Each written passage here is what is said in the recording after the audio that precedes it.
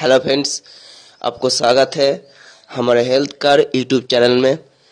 आज मैं रिव्यू करने जा रहा हूँ सिप्ला कंपनी का लिबोलिन सिरप की benefit use dose and side effect के बारे में।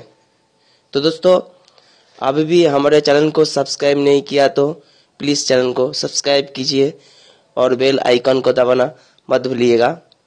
तो दोस्तों, ये आपका सौ एम का पैकिंग में आता।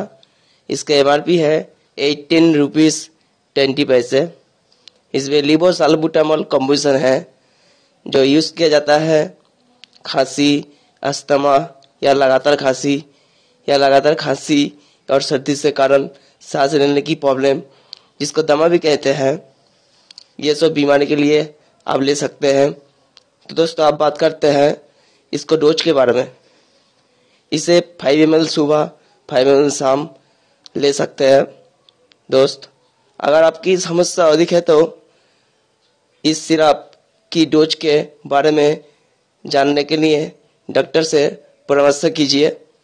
तो दोस्त, आप बात करते हैं इसका साइड इफ़ेक्ट के बारे में।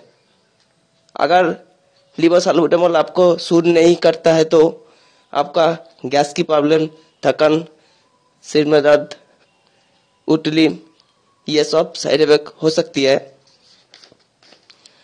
तो दोस्तों, आप बात करते हैं, ये सिर्फ़ किसको नहीं लेना चाहिए? अगर आप प्रेगनेंसी लेडी है बीपी पेशेंट है शुगर पेशेंट है तो आप ये सिरप यूज़ ना करें। यूज़ करने से पहले ज़रूर डॉक्टर से परामर्श करें तो दोस्त, इन दवाई का उपयोग करने से पहले ज़रूर डॉक्टर से परामर्श कीजिए। इसके एम है एटीन रुपीज़ ट्वेंटी पैसे बहुत ही अच्छा प्रोडक्ट है। इसको कई भी मेडिसिन स्टोर से आप ले सकती है। तो दोस्तों, आज के लिए इतना ही काफ़ी है। फिर मिलेंगे नेक्स्ट वीडियो के साथ।